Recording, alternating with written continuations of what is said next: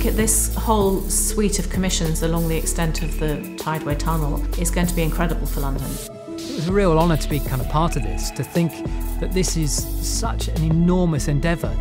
I had a sense of how big it was, but it took a while to actually absorb that.